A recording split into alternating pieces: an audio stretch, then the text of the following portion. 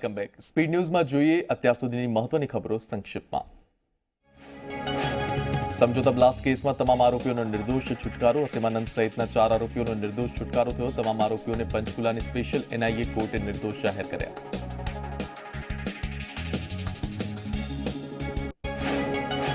બે હજાર સાતની અઢારમી ફેબ્રુઆરીએ પાણીપતના દીવાના રેલવે સ્ટેશન પાસે બ્લાસ્ટ થયો હતો ટ્રેન લાહોર તરફ જઈ રહી હતી આ બ્લાસ્ટમાં બે ડબ્બામાં આગ લાગી હતી જેમાં અડસઠ વ્યક્તિના મોત થયા હતા મૃતકોમાં મોટાભાગના લોકો પાકિસ્તાનના રહેવાસી હતા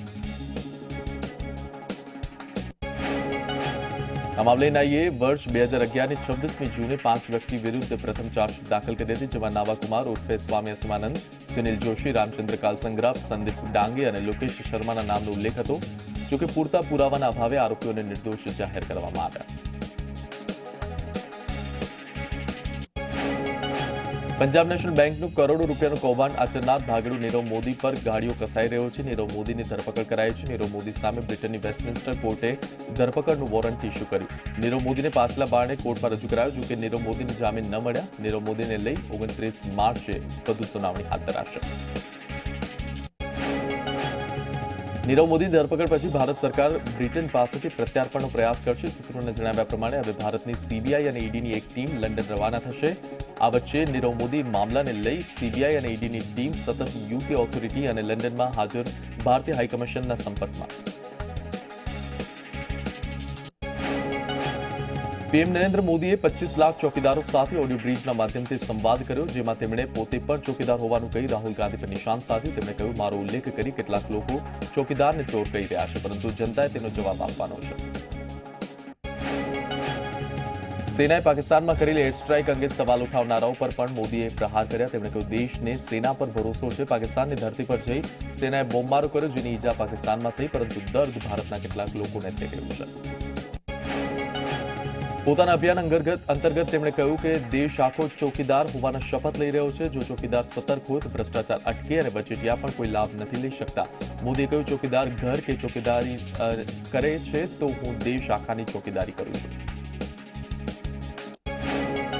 ગોવામાં મુખ્યમંત્રી પ્રમોદ સાવંતે ફ્લો ટેસ્ટ પહેલા નિવેદન આપતા લોકસભા ચૂંટણીમાં જીત મળશે એવો વિશ્વાસ વ્યક્ત કર્યો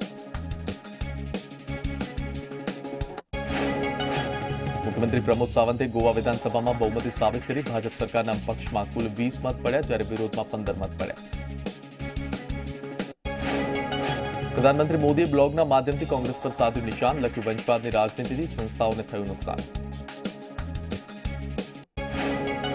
પ્રધાનમંત્રીએ કોંગ્રેસ પર પ્રહાર કરતા કહ્યું કોંગ્રેસ સરકાર સત્તામાં હતી ત્યારે સત્તાનો દુરુપયોગ કરવામાં આવ્યો કોંગ્રેસ હંમેશા સેનાને કમાણીનું સાધન સમજતી કોંગ્રેસ સેનાને યોગ્ય સન્માન આપવામાં નિષ્ફળ નીકળી છે નરેન્દ્ર મોદીએ પોતાના બ્લોગમાં અલગ અલગ યોજનાઓનો ઉલ્લેખ કર્યો પ્રધાનમંત્રીએ લખ્યું જનતાને સીધો લાભ મળે તે પ્રકારની યોજનાઓ શરૂ કરવામાં આવી આજે ગરીબ અને પછાત વર્ગોને ધ્યાનમાં રાખી યોજના શરૂ કરાઈ તો બ્લોગમાં પુલવામાની એર સ્ટ્રાઇકનો ઉલ્લેખ કરી વિપક્ષ પર પ્રહાર કરતા લખાયું કે જ્યારે આપણી વાયુસેના આતંકીઓ પર હુમલો કરે છે તો કોંગ્રેસ તેમની કામગીરી પર સવાલ ઉઠાવે છે પ્રધાનમંત્રીના ટ્વીટ પર પ્રિયંકા ગાંધીએ વળતો જવાબ આપ્યો કે પ્રધાનમંત્રીએ પાંચ વર્ષમાં દરેક સંસ્થાઓ પર હુમલા જ કર્યા છે પીએમ મોદીના બ્લોગને લઈ કોંગ્રેસી નેતા તારીક અનવરે વિવાદિત નિવેદન આપ્યું તારીક અનવરે પ્રધાનમંત્રીના વંશ પર સવાલ ઉઠાવતા કહ્યું મોદી વંશવાદને વિરુદ્ધ એટલા માટે બોલે છે કારણ કે પ્રધાનમંત્રીનો કોઈ વંશ નથી દિલ્હી ભાજપ અધ્યક્ષ મનોજ તિવારીએ તારીક અનવર પર પલટવાર કરતા કહ્યું દેશના સવાસો કરોડ લોકો પ્રધાનમંત્રીનો વંશ કોંગ્રેસ નેતા દિગ્વિજયસિંહે ભાજપ પર કર્યા પ્રહાર કહ્યું પ્રધાનમંત્રી નરેન્દ્ર મોદી પ્રિયંકા ગાંધીથી ડરી ગયા કપિલ સિબ્બલે પણ વંશવાદને લઈ નરેન્દ્ર મોદીને આપ્યો જવાબ કહ્યું સૌથી વધુ વંશવાદ ભાજપ અને સંઘમાં અમિત શાહ યુપીમાં ભાજપના નેતાઓ સાથે કરશે બેઠક બેઠકમાં લોકસભાની ટિકિટને લઈને થઈ શકે છે ચર્ચા મમતા બેનર્જીએ પ્રધાનમંત્રી મોદી અને અમિત શાહને સંસ્કૃતમાં મંત્ર બોલવાનો પડકાર ફેંક્યો મમતા બેનર્જીએ ભાજપ પર પ્રહાર કરતા કહ્યું મેં ભાજપની જેમ ધર્મના નામે ઘૃણા ફેલાવવાનું કામ નથી કરતા પ્રિયંકા ગાંધી વારાણસીમાં આયોજિત અ, મલ્લાહ સંમેલનમાં હાજરી આપી પ્રિયંકા ગાંધી વારાણસીમાં દશાશ્વમેઘ ઘાટ પર ગંગા આરતી પણ કરી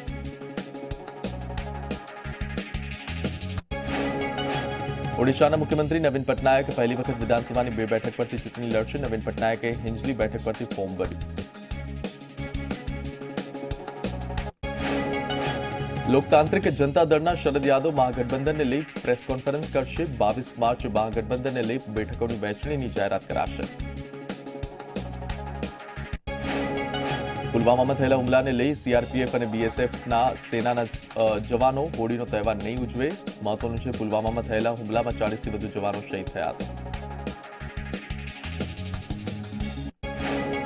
પીએમ મોદીએ દેશવાસીઓને હોળીની આર્થિક શુભકામના પાઠવી એકત્રીસ માર્ચે પ્રધાનમંત્રી વિડીયો કોન્ફરન્સના માધ્યમથી ચોકીદારો સે ચર્ચા કાર્યક્રમ યોજશે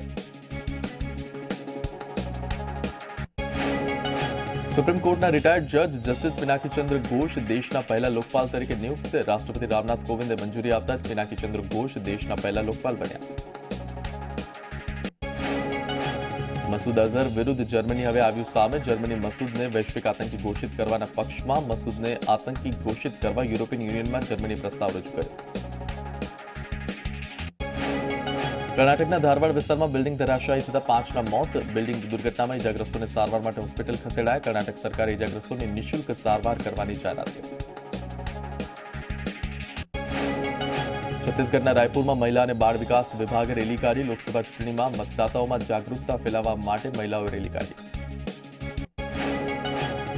ગાંધીનગરના પાલજ ગામમાં સૌથી મોટી હોડી પ્રગટાવવામાં આવી હજારોની સંખ્યામાં હોડિકા દહનના લોકો દર્શનાર્થે પહોંચ્યા હતા દૂર દૂરના ગામથી લોકો હોડિકા દહનના દર્શન કરવા પહોંચતા હોય છે પાલજ ગામમાં પ્રગટાવવામાં આવતી હોડીના અંગારા પર ઉઘાડા પગે ચાલવાની પ્રથા ઘણા વર્ષોથી આ પરંપરા ચાલે છે ધગધગતા અંગારા પર બાળકોથી માંડી મોટી ઉંમરના લોકો ચાલે છે તેમ છતાં દાજતા નથી તેવી માન્યતા મહાકાળી માતાજીના સતને કારણે લોકો દાજતા ન હોય તેવો ગ્રામજનોનો વિશ્વાસ પાંચ હજારની વસ્તીવાળા ગામમાં લગભગ દરેક ઘરમાં લાડવા બનાવાય છે અને સત્ય પર સત્યના વિજયની ઉજવણી કરાય છે. સુરતમાં પણ હોળીના તહેવારની ઉજવણી કરવામાં આવી. હોળીનું દહન કરવામાં આવ્યું. દહન બાદ મોટી સંખ્યામાં લોકોએ હોળીની પ્રદક્ષિણા કરી. જામનગરના ભોયવાડા વિસ્તારમાં ભવ્ય હોલિકા મહોત્સવ કરાયો. છવ્વીસ ફૂટ ઊંચી વિશાળ ઇકો ફ્રેન્ડલી હોલિકાનું દહન કરાયું. છવ્વીસ ફૂટ ઊંચી આ હોલિકાના દહન બાદ જામનગરમાં ઠેર ઠેર આઠસોથી વધુ નાની મોટી હોલિકાનું પણ દહન કરાયું. જામનગર શહેર સંવેદનશીલ વિસ્તારમાં સીઆઈએસએફના જવાનોએ ફ્લેગ માર્ચ કરી શહેરના ભોયવાડા સહિતના અનેક વિસ્તારોમાં પેટ્રોલિંગ કરવામાં આવ્યું. શહેરના ભોયવાડા વિસ્તારમાં હોળીની ભવ્ય ઉજવણી કરવામાં આવી. ત્યારે કોઈ અનિચ્છનીય બનાવ ન બને તે માટે ફ્લેગ કરાઈ. વડોદરાના માંજલપુરમાં હોળી પ્રગટાવવામાં આવી માંજલપુરમાં શહેરની સૌથી મોટી હોળી થાય છે મોટી સંખ્યામાં દર્શનાર્થીઓએ હોળીની પ્રદક્ષિણા કરી હજારોની સંખ્યામાં લોકો હોળીના દર્શન માટે આવે છે છેલ્લા સિત્તેર વર્ષથી હોળી પ્રગટાવવામાં આવે છે હોળિકા દહનમાં સ્થાનિક આગેવાનો તેમજ ભાજપ કોંગ્રેસના કાઉન્સિલર્સે સાથે મળી હોળી પ્રગટાવી માંજલપુરના રહીશો સાથે આસપાસના રહીશોએ પણ પૂજામાં જોડાયા નાના મોટા યુવાનો સહિતના લોકોએ હોળીની પૂજા કરી પ્રદક્ષિણા કરી યાત્રાધામ શામળાજી ખાતે હોલિકા દહનનું આયોજન કરાયું મંદિરના પટાંગણમાં હોલિકાનું દહન કરવામાં આવ્યું હોલિકા દહનમાં ગ્રામજનો સહિત અનેક ભક્તો જોડાયા આદિવાસીઓ પરંપરા મુજબ ઢોલ વગાડી હોળીની ઉજવણી કરી છોટાઉદેપુરમાં ઠેર ઠેર હોલિકાનું દહન કરાયું શ્રદ્ધાળુઓ હોલિકાની પ્રદક્ષિણા કરી પૂજા કરી રાજ્યસભાના સાંસદ નારાયણ રાઠવાએ પણ પૂજા કરી હોળી પ્રગટાવી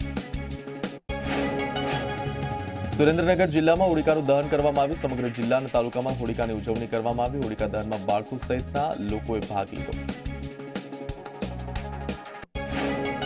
ભરૂચના દાંડિયા બજારમાં આવેલા ચિંગસપુરા ગોલવાડમાં હોળીનો ઉત્સવ કંઈક અનોખી રીતે ઉજવાયો કોંગ્રેસના સ્લોગન ચોકીદાર ચોર હૈની સામે ભરૂચની જનતાએ મેં હું ચોકીદાર સ્લોગનની રંગોળી કરી હોળીની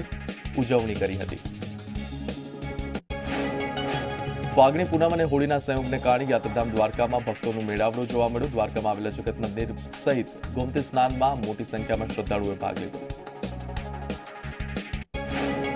ગોમતી નદીના તમામ ઘાટ શ્રદ્ધાળુથી ઉભરાઈ ઉઠ્યા સમગ્ર દ્વારકા જય રણછોડના નાદથી ગુંજી ઉઠ્યું અનેક લોકોએ દૂર દૂરથી આવી ભગવાન દ્વારકાધીશની મંગળા આરતીમાં ભાગ લીધો ત્યારબાદ પવિત્ર ગોમતીમાં આસ્થાની ડૂબકી લગાવી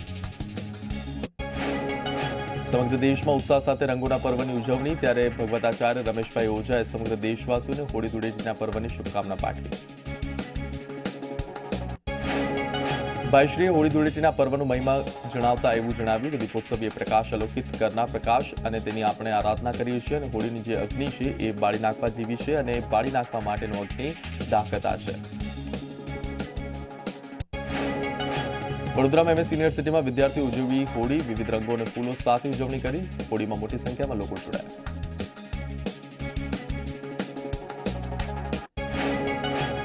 સુરતમાં હોળીની ધામધૂમથી ઉજવણી, કોલેજની વિદ્યાર્થીનીઓએ હોળીની ઉજવણી કરી ડાન્સ કરી, વિદ્યાર્થીનીઓએ માણી હોળીની મજા.